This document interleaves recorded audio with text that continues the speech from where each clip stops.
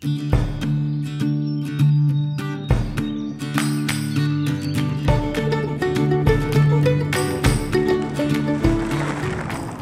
get on a bike and just be out there, that's, that's what I live and breathe for.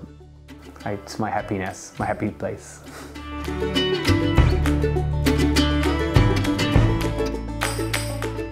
My name is Erwin and I am a passionate gravel cyclist uh, from the Netherlands and the reason we are here today is basically this bad boy which is a stamp card of the 1981 Mosel Radtour in the neighborhood of Trier, Germany. Um, and it's a tour that uh, my grandmother and my grandfather and a lot of my family rode back in the day. Basically, my grandmother is to blame for the cycling, uh, the cycling uh, addiction in my family. The passion that my grandmother had for cycling and pushing others to go and do the same thing because it's healthy, mostly because it's really fun.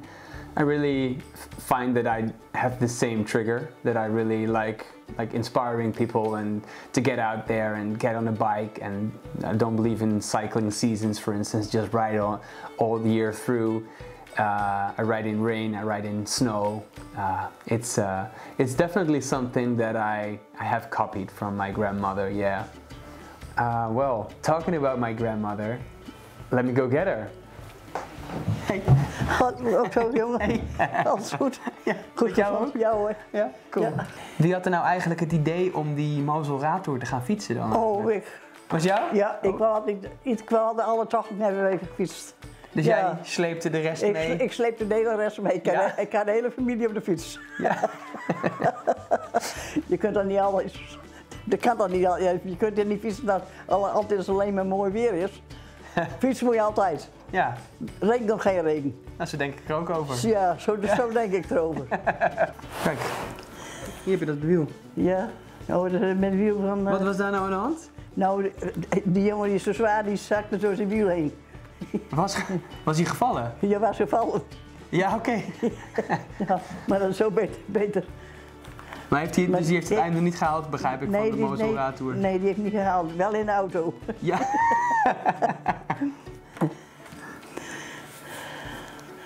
Maar verder, eh, verder is eh, alleen deze, deze jongen, Nee? ja, die zei van 's morgens van, moeten wij hier direct de bult al op? Ik zei, ja, je moet direct de bult al op. Oh, je gelijk omhoog? Ja, Ja. hoe had ik dat geweten, dan had ik geen wijn gedronken. ik ben Kastelkeus. Ja. Zijn wij eh, uitgenodigd om een wijntje te drinken.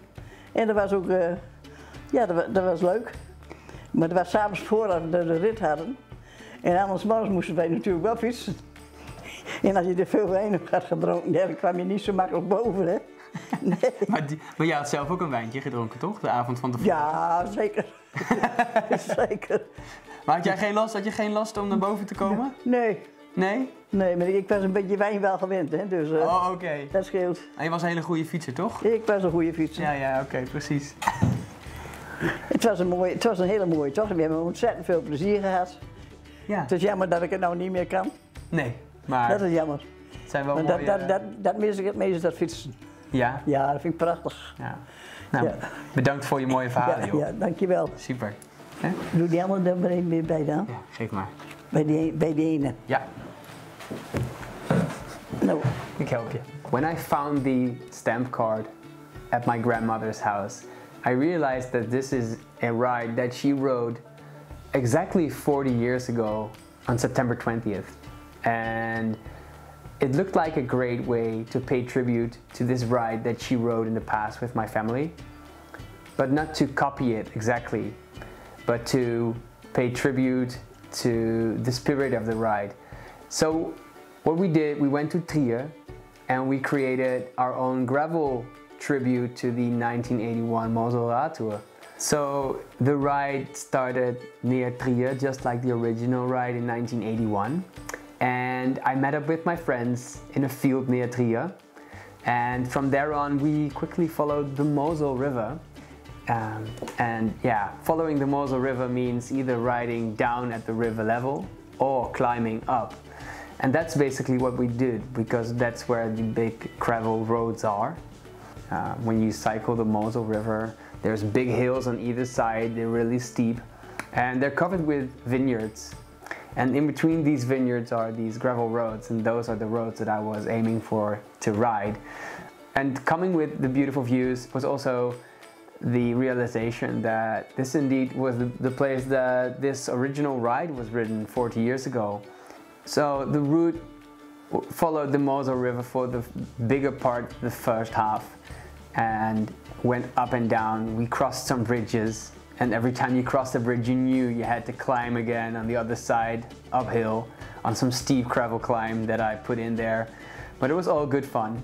Um, but eventually you have to go back. So we took a left turn on the map, just like the original route did.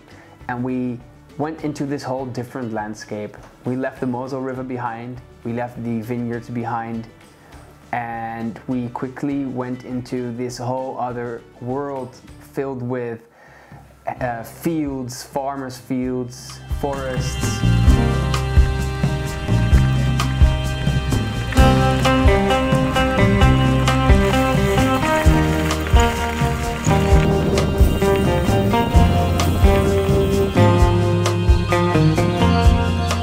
There was also this lovely Schutzhütte, like a shelter on top of the highest climb.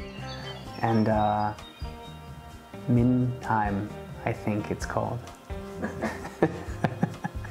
Minheim, definitely Minheim. Was a beautiful place and we had a great stop there as well.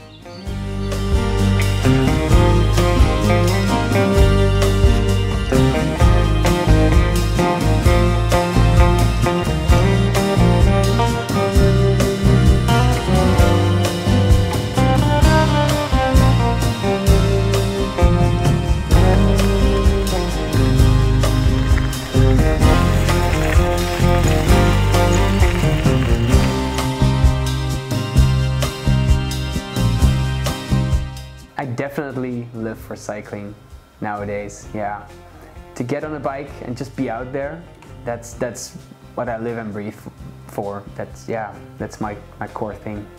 I, it's my happiness, my happy place.